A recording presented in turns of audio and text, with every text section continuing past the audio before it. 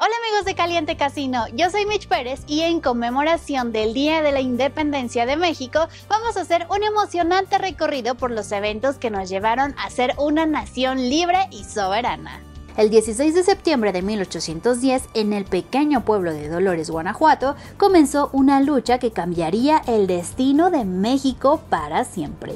En la madrugada de ese día, el cura Miguel Hidalgo y Costilla, junto con otros líderes insurgentes como Ignacio Allende y Juan Aldama, dieron el famoso grito de Dolores, llamando al pueblo a levantarse contra el dominio español.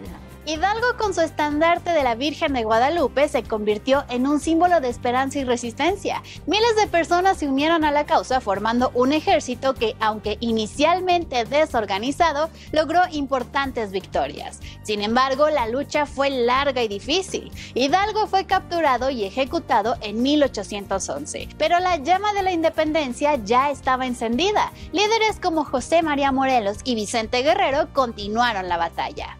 Fue en 1821, tras más de una década de conflicto, que la independencia finalmente se logró. El 27 de septiembre, el ejército trigarante, liderado por Agustín de Iturbide y Vicente Guerrero, entró triunfalmente a la Ciudad de México. El 28 de septiembre de 1821 se firmó el Acta de Independencia del Imperio Mexicano, declarando oficialmente la independencia de México de la corona española. Año los mexicanos celebramos nuestra independencia con desfiles, fiestas y por supuesto el tradicional grito de independencia que resuena en el corazón de todos los mexicanos. Así que este 16 de septiembre celebremos con orgullo nuestra historia y nuestros héroes recordando que la libertad y la soberanía son los pilares de nuestra nación.